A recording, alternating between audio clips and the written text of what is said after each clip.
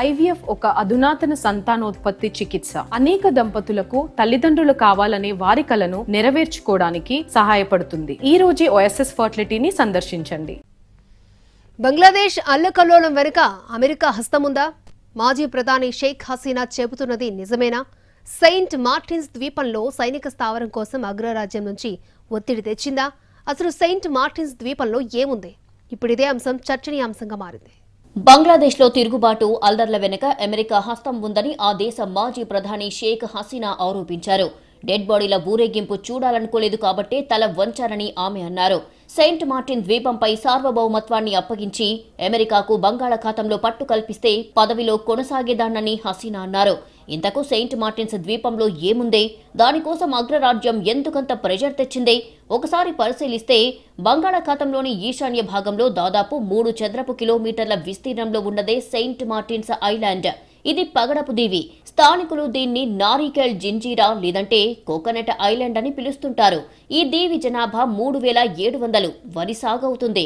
కొబ్బరి తోటలు ఉన్నాయి. చేపలు పట్టుకొని ఇక్కడి జనం బతుకుతుంటారు. పద్దెనిమిదవ శతాబ్దంలోనే ఇక్కడ అరబ్ వర్తకులు స్థిరపడ్డారు.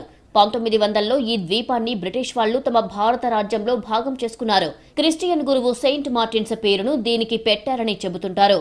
పంతొమ్మిది వందల నలభై ఏడులో భారత్ బంగ్లా విడిపోయిన తర్వాత ఇది తూర్పు పాకిస్తాన్లో భాగమయ్యింది. ఆ తర్వాత బంగ్లాదేశ్కు దక్కింది. పంతొమ్మిది వందల డెబ్బై నాలుగులో దీనిపై బంగ్లా సార్వభౌమత్వాన్ని అంగీకరిస్తూ మయన్మార్ కూడా ఒప్పందం చేసుకుంది.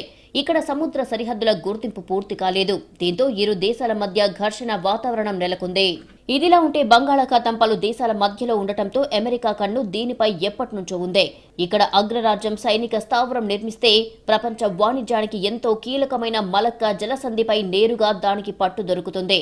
ఈ ద్వీపంపై ఆసక్తి లేదని అమెరికా పైకి చెప్పినా ఇక్కడ స్థావరాన్ని ఏర్పాటు ఏర్పాటు చేసేందుకు తెర వెనక చాలా యత్నాలు చేసింది. ఆ కోణంలోనే చాలాసార్లు ఈ అంశం తెరపైకి వస్తూ ఉందే. పైగా దీనికి సమీపంలో కాక్స్ బజార్ పోర్టును చైనా నిర్మిస్తోంది. కాబట్టి ఇక్కడ ఒక స్థావరం ఉంటే నిఘాకు వ్యూహాత్మకంగా ఉపయోగపడుతుందని అగ్రరాజ్యం భావిస్తోంది.